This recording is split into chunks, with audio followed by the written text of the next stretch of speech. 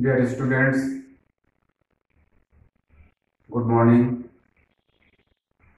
Welcome to my online class, English class for the first year student.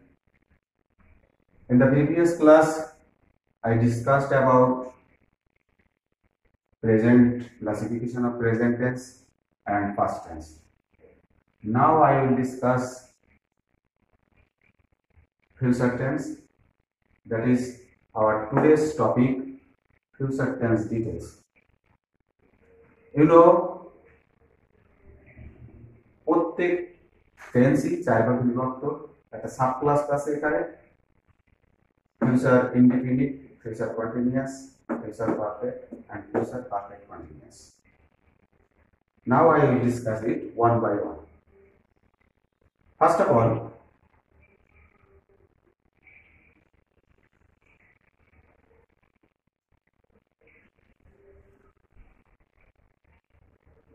First of all, আমি প্রথম যেটা আলোচনা করব সেটা হলো ফিউচার ইন্ডিপেন্ডেন্ট তোমরা জানো ফিউচার ইন্ডিপেন্ডেন্ট এর আগে আমরা প্রেজেন্ট টেন্স তার যে চারটে ক্লাস সাব ক্লাস ছিল চারটে শ্রেণি ছিল। Present independent present continuous present perfect present perfect continuous similarly we have seen the classification of past likewise and they are past indefinite past continuous past perfect and past past perfect continuous similarly future perfect is also the four kinds future indefinite future continuous future perfect and future perfect continuous আর প্রথমে future indefinite সম্পর্কে আলোচনা করব এখানে একটা জিনিস দেখানো হয়েছে যে প্রতিবারই আমি আলোচনায় এসেছি যে ফিউচার ইন্ডিফিনিট টেন্সের বাংলা রূপ আর ইংরেজি রূপ দ্যাট ইজ গঠন প্রণালী এবং তার স্ট্রাকচারটা নিয়ে আমি আলোচনা করি একটু এক্সাম্পল নিয়ে সংক্ষেপে এভাবে আমরা আলোচনা করি। এখন আমরা ফিউচার ইন্ডিফিনিট টেন্সে আমরা দেখব ভবিষ্যতের কোনো কাজ। কোনো কাজ এখনও সম্পন্ন হয়নি, করা হয়নি, শুরু হবে। এরকম বোঝাতে ভাবে রূপে যে ব্যবহার সেটা ফিউচার সাধারণ যে ভবিষ্যৎ যাকে বলা হয় ফিউচার ইন্ডিফিনিট টেন্সের বাংলা রূপ হলো, বাংলা ক্রিয়ার শেষে দ্যাট ইজ আমরা বাংলা লাইন থেকে চিনব কীভাবে? বাংলা ক্রিয়ার শেষে বে, বি বো বা, বেন এই জাতীয় কিছু ওয়ার্ড থাকে, শব্দ থাকে, সেগুলো দেখে আমরা আইডেন্টিফাই করি। অর্থাৎ ফিউচার আইডেন্টিফাই টেন্সের উদাহরণ যেমন ধরো, আমি ভাত খাইব বা খাব। তাহলে এখানে এই যে বে বা এগুলো আছে, সে বাড়ি যাবে, এখানে দিয়ে আসলো এইভাবে তাহলে ট্রান্সলেট করলে আমরা কি পাই দেখো? এখানে আই উইল অথবা শ্যাল ইট রাইস একটা জিনিস মনে রাখতে হবে ফিউচার ইন্ডিফিনিট টেন্সের যে স্ট্রাকচারটা আছে সেটা আমরা দেখো। শ্যাল অবলিক উইল তারপরে আছে ভি ওয়ান আদার্স এক্সটেনশন আমরা আজকাল মডার্ন ইংলিশ খেয়াল করি যে শ্যালের প্রয়োগটা অলমোস্ট ডিজিয়াপিয়ারেন্স প্রায় উধাও হয়ে গেছে। তো যাই হোক, সেটা বড় কথা না। আমাদের স্ট্রাকচার হলো ইংরেজিতে স্ট্রাকচার বা গঠন প্রণালী দ্যাট ইজ ইংরেজি রূপ যেটাকে বলা হয় সাবজেক্টের পরে নাম্বার অফ পার্সন অনুযায়ী শ্যাল বা বসে আমরা অলমোস্ট এভরি জায়গাতে এভরিওয়্যার উইল প্রয়োগ করে থাকি মডার্ন ইংলিশে সেটা বড় কথা না। আমরা শ্যাল ইউজ করলে যে মহাভারত অশুদ্ধ হবে তা নয়। আমরা ইউজ করলেও করতে পারি। তবে সেটাকে আজকাল খুব একটা দেখা যায় না, এটাকে ইগনোর করা হয়েছে। তো যাই হোক, তাহলে স্ট্রাকচার হবে। প্রথমে সাবজেক্ট তারপরে শ্যাল বা উইল অক্সিলারি হিসেবে আসবে এবং তারপরে মূল ভার্বের present form that is V one form বসবে। তারপরে অবজেক্ট আদার্স এক্সটেনশন যদি কিছু থাকে, সেটা। আমরা সেইভাবে একে ট্রান্সলেট করেছি, আমি ভাত খাইব বা খাব। তাহলে আই উইল অথবা আই শ্যাল ইট রাইস এই গেল ফিউচার টেন্সের স্ট্রাকচার নেক্সট আমরা আসি।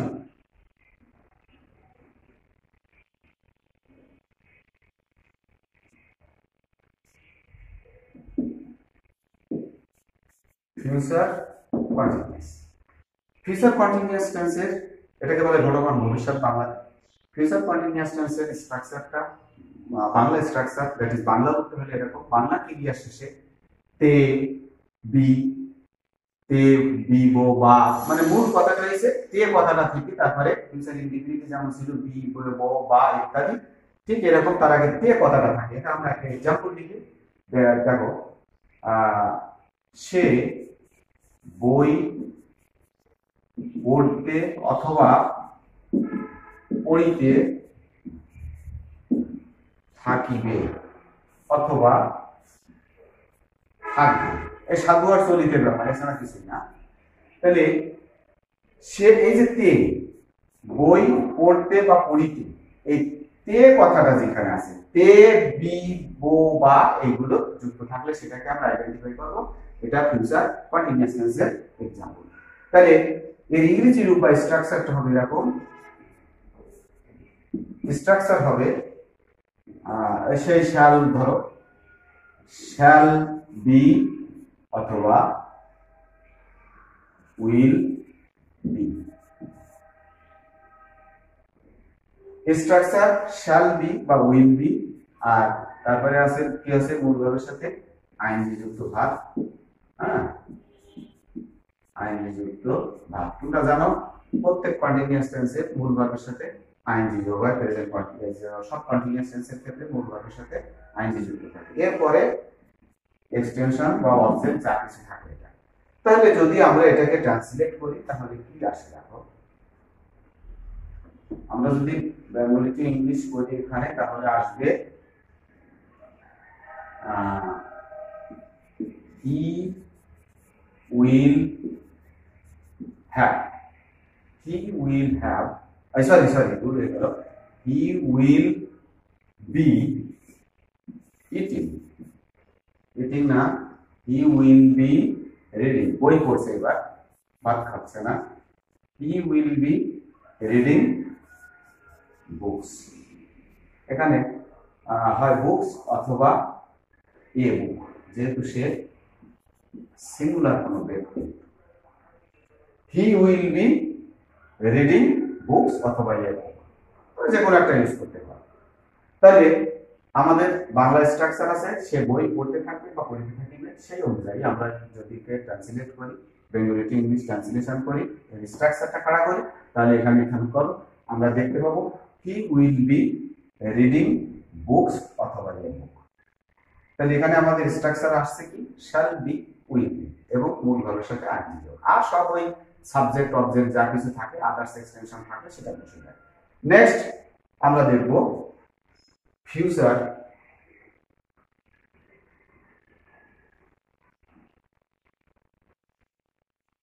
future perfect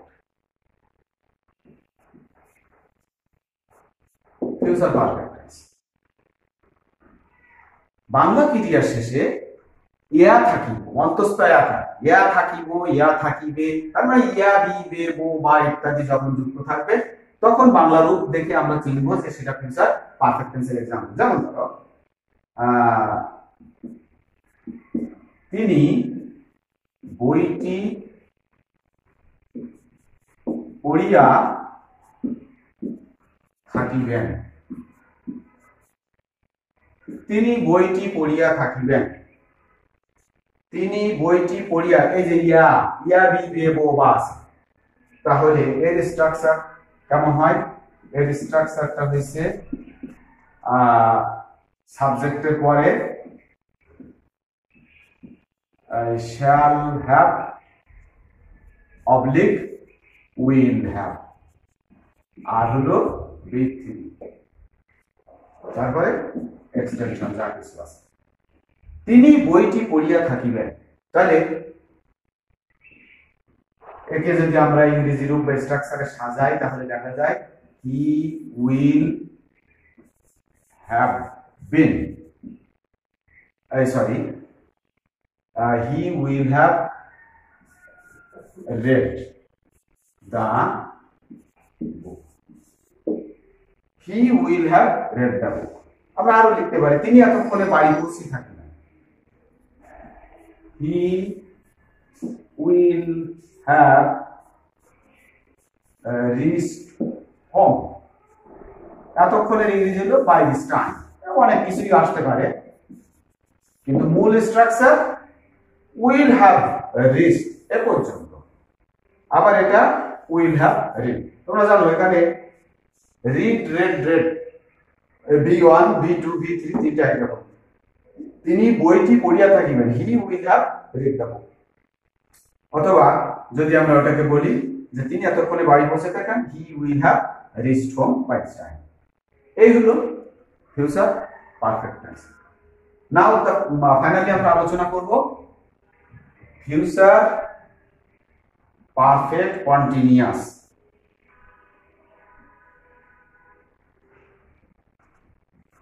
Future perfect continuous. এটা ব্যাখ্যাটা একটু বাংলা থেকে শুনে নাও। এখানে বলা হয়েছে ফিউচার পারফেক্ট কন্টিনিউয়াস কন্টিনিউয়াস মূল সাথে জড়ে। কিন্তু এখানে ফিউচার কন্টিনিউয়াস প্রায় সমতুল শুধুমাত্র এটা বেশি সময় ধরে কাজটা চলে সেরকমই একটা বোঝায় যেমন ধরো ফিউচার পারফেক্ট টেন্সের এক্সাম্পল যখন আমরা দেখতে যাই, সেক্ষেত্রে দেখা যায় কখনো সিঙ্গেল ক্লজ দ্বারাও আমরা সেন্টেন্সটা শেষ করতে পারি এক্সাম্পলটা আবার ডাবল ক্লজও করতে পারি। সেটা কীরকম? যেমন ধরো তিনি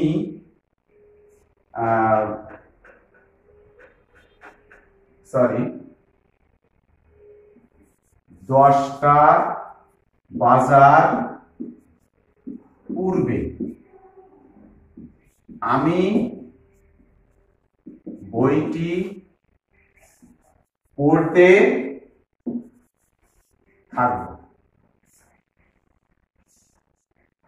মূল কথা হয়েছে ফিউচার কন্টিনিউয়াস টেন্সের যে বাংলা রূপটা ছিল, এই যে তে বিবো বা এটা থাকবে। কিন্তু এখানে স্ট্রাকচার আসবে অতিরিক্ত কি? Shall have I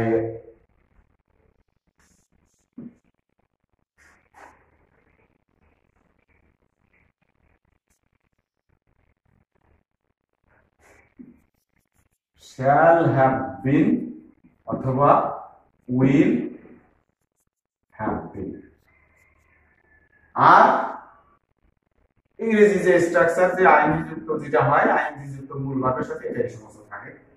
তাহলে এখানে দশটা বাজার পূর্বে আমি বইটি মূল স্ট্রাকচার মূল সেন্টেন্সটা এটা আমি বই পড়তে থাকব। তাহলে আই উইল বলো অথবা শ্যালই বলো না কেন?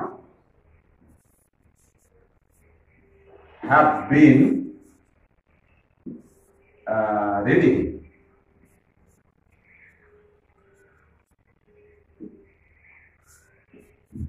দা বুক আমি বইটি পড়তে থাকব। I will have been reading the book reading the book before the clock will strike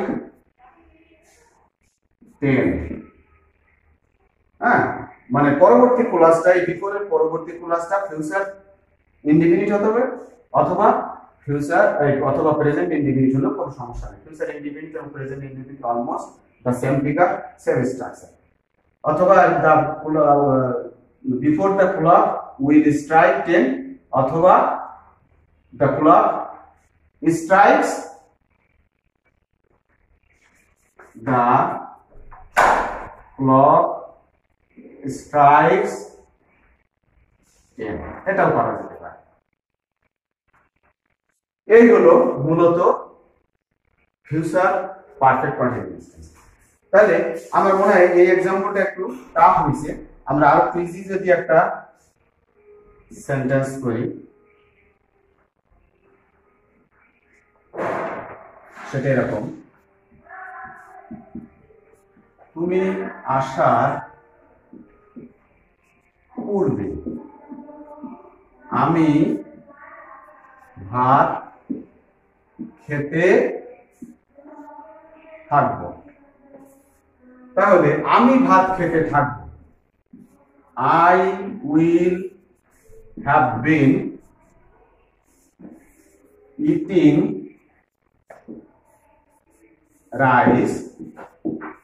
before you come present অথবা বিফোর ইউ উইল কাম এই, তাহলে মোটামুটি টেন্সের আমরা ডিটেলস আলোচনা করলাম আজকে।